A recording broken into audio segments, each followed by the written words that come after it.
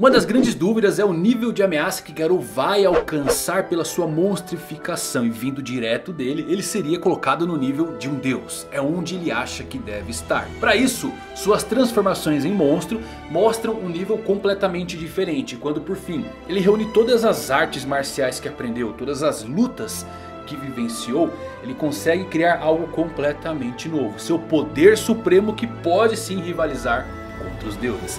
Quer saber mais desse poder supremo de Garou? Então se liga que eu vou falar nisso agora.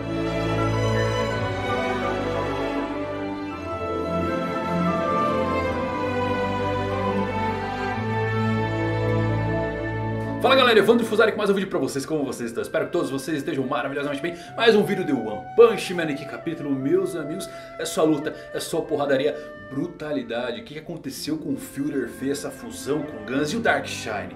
E o Samurai Atômico, que foi completamente anulado Esse capítulo foi muito interessante porque adicionou novas camadas, possibilidades E claro, já começa a se interligar com as partes mais bombásticas da webcomic, Garou despertando o seu poder supremo. Quer saber mais qual que é esse poder, como ele funciona? Assiste então até o fim desse vídeo que está muito legal. Se você é novo no canal, aproveita para se inscrever. Escritão Mangarático dispara o like e agora com vocês todos os segredos dos poderes de Garou. Abrimos o capítulo com Garou versus Bomb. Fico feliz de termos um espaço para ver Bomb lutar solo em uma movimentação incrível em que nem mesmo o Fubuki consegue acompanhar a velocidade velocidade dos dois lutadores. Porém o grande destaque nesse ponto sem dúvidas é ver como Garou já dominou totalmente o punho cortante de ferro. Golpe esse que ele usa para parar Bomb. Na webcomic Garou tem um poder supremo que ele desenvolve nesta forma e se chama Punho Matador de Deuses. Garou combina todos os estilos de luta que ele aprendeu ao longo de suas muitas batalhas criando então um estilo único de luta suprema. Ele afirma que não possui pontos fracos, afinal ele mesmo diz que tem um nível de um desastre de Deus. Mas quando ele despertar realmente esse poder, nos aprofundaremos um pouquinho mais porque Murata deve adicionar novas coisas.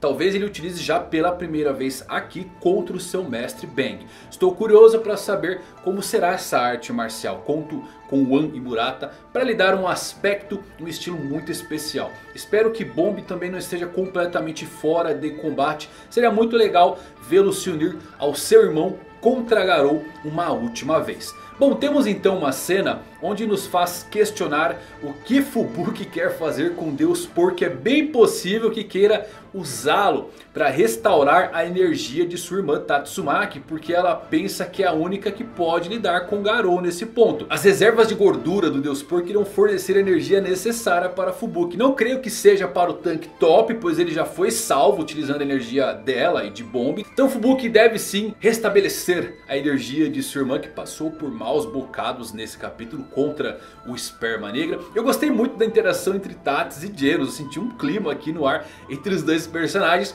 Pena que foi quebrado pelo mau cheiro do Furior Feio. Que chega ali naquela fusão com o Gans.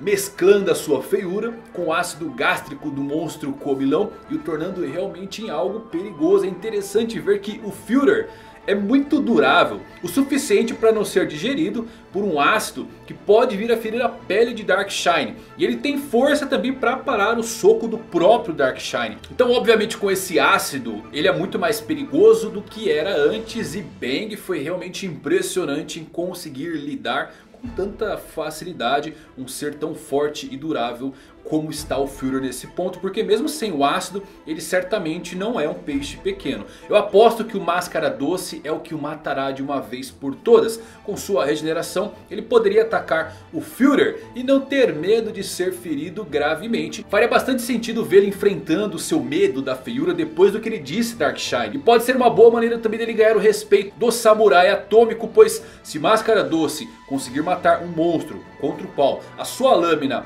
foi completamente impotente e provar que suas palavras não eram vazias seria algo notório. Se lembre que o samurai atômico zombou do Máscara Doce e talvez agora seja a hora dele se arrepender disso. O que é assustador é que o Imperador Mendigo ainda é mantido na reserva da história. Então isto significa que ele é provavelmente uma ameaça ainda maior do que essa fusão do Führer e Gans. Seu poder de fogo deve ser algo completamente devastador. E depois disso eu não tenho mais dúvidas de que ele também consegue ferir a pele de Darkshine. Para ser sincero, o Führer na fusão com Guns é facilmente um nível de ameaça dragão superior. O ácido de Guns deu a Führer um grande poder. Literalmente derreteu as mãos do Darkshine. Dá pra ver os ossos em alguns painéis. Porém é aqui que você percebe que a mentalidade fraca do Darkshine é um grande problema real. Falando francamente, tenho certeza de que ele poderia derrotar o Führer feio se estivesse determinado. Mas com um pequeno machucado como esse no punho,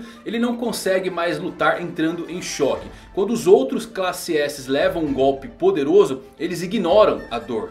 Levantam-se e lutam com mais tenacidade do que nunca. Quando acontece com Darkshine, ele grita. Quando você o compara com Tank Top Master que não fez qualquer barulho depois de todos os seus ossos do braço ser quebrado. Ele ainda teve coragem até mesmo de desafiar o Führer. Darkshine realmente carece de coragem e tenacidade para se manter na luta. Já o Samurai Atômico realmente não consegue se dar bem com esses monstros à prova de lâminas. E o legal é que ele é uma espécie de Amaterasu do mundo de One Punch Man. Por causa do seu estilo de luta, ou ele dá um tiro único no inimigo ou não funciona de jeito nenhum. E obviamente que não queremos vilões recebendo apenas um tiro sem uma luta, o que é irônico porque tem Saitama dentro da série. Mas o seu Atomic Slash é na verdade uma bela técnica operacional. Faz bastante sentido que Wan e Murata sempre o equiparassem a oponentes que tenham algum tipo de imunidade à sua lâmina. Caso contrário, ele teria devastado dragões como Mesalgard, o Esperma Negro e agora o Führer Feio com apenas um movimento. O que é ótimo sobre a série The One Punch Man é o fato de que os matchups não importam muito.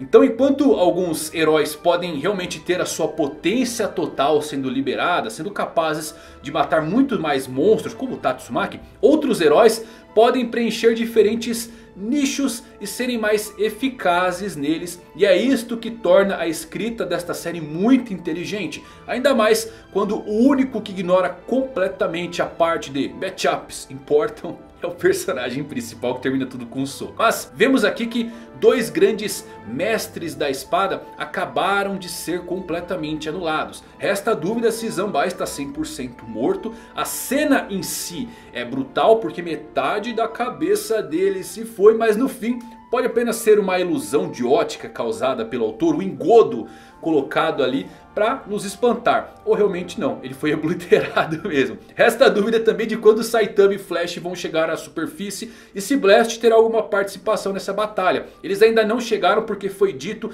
que aonde eles estavam, aquela câmara no subsolo, o tempo passava mais devagar. Então é por isso que eles ainda não deram as caras na superfície. Por fim temos Bomb realmente confirmando que Garou já está utilizando a mescla de habilidades. E o punho matador de deuses vai dar as caras Bang finalmente vai lutar com tudo. Se preparem para presenciar aquele que se auto-intitulará como o que pode esmagar os próprios deuses. Será que Garou vai superar o nível dragão e realmente chegar nesse ponto, o nível de ameaça de um deus?